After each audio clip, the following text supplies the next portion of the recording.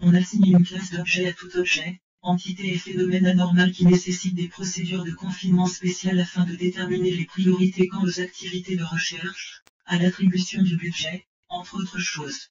La classe assignée à un objet en général déterminée par un certain nombre de facteurs, mais principalement par une combinaison de la difficulté du confinement et du danger posé à la Fondation, son personnel et au reste de l'humanité. La classification d'une anomalie spécifique peut être sujette à une mise à jour et une modification alors que nos recherches se poursuivent et que notre compréhension de l'objet, entité ou phénomène augmente. Classes principales Celles-ci sont les classes d'objets les plus communes assignées aux anomalies et constituent la plus grande part de la base de données de la Fondation. Sur les objets sur sont des anomalies qui sont soit comprises à un niveau suffisant pour être désormais totalement confinées sans risque de façon permanente, soit doté de propriétés ou d'effets qu'on ne peut déclencher qu'avec une action intentionnelle. Qu'un objet soit classé sur ne signifie pas toutefois que le manipuler ou l'activer ne pose aucun danger, et nous rappelons au personnel que les protocoles de sécurité et les procédures spéciales de confinement doivent être respectés en toutes circonstances. Euclide, les objets de classe Euclide sont des anomalies qui sont soit insuffisamment comprises ou intrinsèquement imprévisibles, de telle sorte qu'un confinement efficace n'est pas toujours possible, mais ne pose pas de menace assez conséquente pour être classé que T.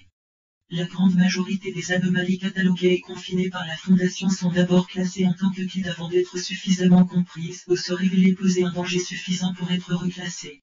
À noter que toutes les anomalies qui manifestent l'autonomie, la conscience et slash ou la sapience sont généralement classées Euclide au minimum, du fait qu'un objet qui peut agir ou penser de lui-même est intrinsèquement imprévisible.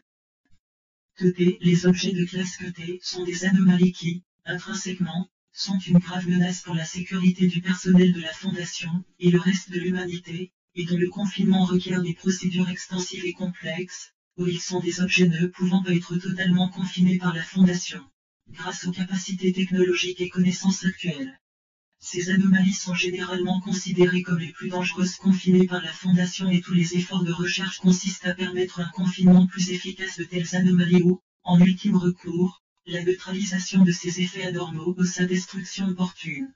Pour une liste complète des articles de classe cotée sur le site, cliquez ici. Classe secondaire, les classes d'objets suivantes sont des sous-classes qui déterminent le statut de l'objet en plus de sa classification première, ou précédente. Neutraliser, les anomalies neutralisées sont celles qui ont perdu leurs caractéristiques anormales, soit parce qu'elles ont été intentionnellement ou accidentellement détruites, désactivées, soit parce qu'elles ne fonctionnent plus ou ne manifestent plus aucun effet anormal. La documentation pour les anomalies neutralisées est archivée à l'attention de nos successeurs, au cas où celles-ci retrouveraient leurs propriétés anormales ou réapparaîtraient dans le futur.